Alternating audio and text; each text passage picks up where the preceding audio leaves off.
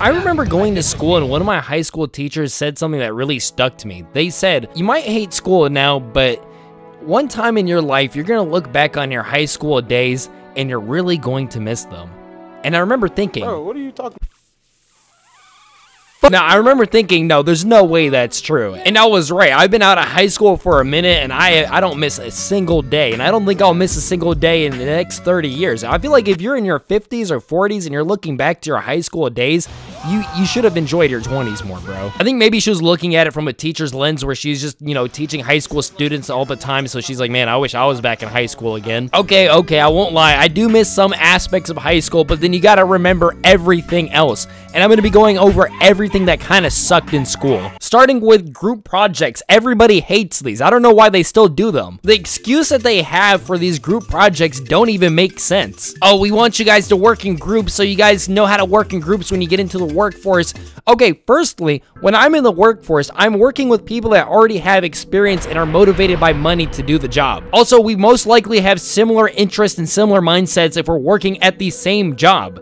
In high school, this is a bit different. In high school, your group will consist of Tom, the Asian kid that's super smart but only knows how to use his smartness on League of Legends. Ashley, the super basic white girl whose only contribution is that she's gonna make the group project look nice with her with her colorful pens or whatever. And then there's me, the all-arounder that can take up any aspect of the project as long as he's pushed, and these guys don't have the capability of pushing me, and lastly, we have this guy whose name I don't remember because he was in juvie for the past two years. Teachers have got to be some of the most hypocritical people on the planet. It seems like they expect complete perfection from their students, but then the moment they make a mistake, they throw out a handful of excuses and, oh, I'm only human, I have a hundred other students, and blah, blah, blah. No, you're a grown-ass adult, own up to your mistakes. I'm talking about when teachers are running late. Have you ever noticed that when you run late, there's no excuse, no exception, just go to the office and get your tardy pass. When teachers run late, oh, I'm a teacher, I'm a grown-up, you guys can wait five minutes, blah, blah, blah. Like, bro, what? Oh, I got caught in traffic. You know, grown-up problems you guys don't have to worry about. Okay, you should have left your house 30 minutes early. Teachers be getting on students' cases over late and missing assignments, but then take an entire semester to grade papers. And then their excuse is always, I have hundreds of students and I have to grade all their assignments. First of all, bro, you assigned the work. Why don't you assign a workload that you can handle? Secondly, I have homework in six other classes as well, so you know, I have to get done with all that homework too. And thirdly, you already know the answers. Have you ever had that one teacher that acts proud when they finally grade your papers? Like, oh yeah, guys, I pulled an all-nighter and just did all, I graded all of your work motherfucker, now you know how we feel every single day. Can we talk about how lazy school administration is when it comes to investigating fights and who was defending who? Like, you're really out here getting in trouble for defending yourself in a fight. This is how school administration expects you to handle some guy throwing punches at you. I remember when I was in school, even if you didn't swing back, if you just got like involved in a fight, you're getting suspended. So like you could get jumped by like three people and still get suspended. Could you imagine that? Imagine getting jumped and getting in trouble for getting jumped. That's like some Joker backstory shit, bro. That would turn me into a villain. I think their excuse for this is that they didn't know who started what and they don't trust any of the witnesses. And I mean, unless there was like a teacher witness and like a camera or something, I, they're they're not gonna. They're just gonna suspend you both, bro. You know you're cooked when you walk into the first day of math class and you see that fresh off the boat Asian or Indian math teacher. Now, I'm not going to judge their capabilities of knowledge on the subject. I know they're very knowledgeable on the subject, However, my problem is that the subject is already a very difficult subject to learn, but now I have to learn it through the thickest accent known to man. This actually happened to me. I had this Asian math teacher back in like, uh, what was it, like junior year or something, and bro, trying to learn Algebra 2, sleep deprived in the back of the class, with the teacher that has a thick accent. She was a good teacher, don't get me wrong, but man, that accent was just, it was too hard to get through. I ended up passing though. Man, I had so much beef with school administration. Like this one time, the assistant principal saw me on freshman orientation say Kobe and shoot my milk carton into the trash can.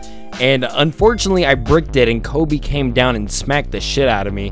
Actually, just kidding. This was so long ago that Kobe wasn't even dead, so he just pulled up normally. And I went to go pick up this milk carton off the ground, and the assistant principal was acting like I was going to pick it up just because she was watching. She was like, yeah, yeah, you better go pick that up. And it's like, dude, come on, bro. We had a strict ID policy at my school where you had to always wear your ID. And, you know, we had a lot of problems in the hallways in the school. We had a lot of thugs, you know, fighting and clogging up the hallways. They wouldn't go to class until after the bell rang. They didn't understand the concept that you had to actually be in class by the time the bell rang. So, uh, it caused a lot of problems in the hallway. However, the principal saw me without my ID and thought that this took over top priority of everything else in the school and decided to chase after me. Like, literally, I had to run from the principal and I was on some Assassin's Creed shit. So I, I dipped, I turned the corner, and then I quickly went into a random classroom after I dipped and turned the corner. I was able to get so much distance on her because she was some fat Karen. Like she had the fucking the Karen haircut and everything. The same principal, the first year she was supervising our school, had a prep assembly where she hyped up how good our school was. Little did she know, we were notoriously known for being the worst behaved school in the city. She would go on to transfer to another school two years later. I don't know if you guys experienced this, but I'm gonna spit it out there to see if this is relatable.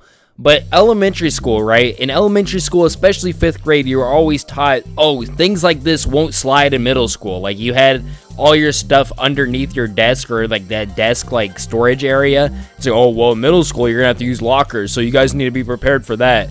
And then you go to middle school and your middle school is like, oh, well, locker management's a skill you need to learn so you're prepared for high school. And then you go to high school and they don't even use lockers in high school. They had lockers, you just didn't use them. Like, you would just bring your backpack and stuff to class. Like, I didn't even know where my locker was all four years of high school. Another example of this would be notes. So, uh, elementary school, you would get notes that the teacher would already have pre-made and they would hand them to you. In middle school, you would have a paper that's already organized to help you take your notes.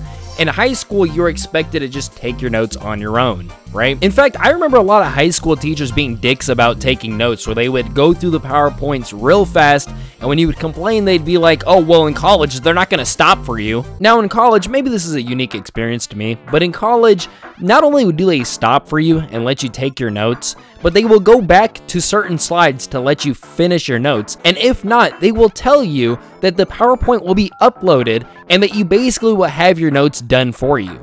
So we're back to elementary school level note taking. College itself had its own flaws and its own set of things that made it terrible, but I think that's a whole nother video for a whole nother day. But these are some unique experiences I've gone through and also some relatable experiences I've gone through in school, just to remind myself that no, I do not miss school, and no, those were not some of the best days of my life. It's my mom.